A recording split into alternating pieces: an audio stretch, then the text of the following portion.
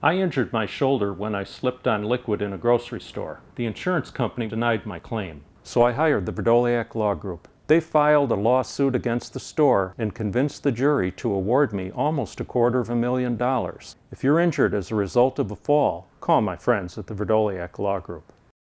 Injured? Call Vrdolyak Law Group, fighting insurance companies since 1963.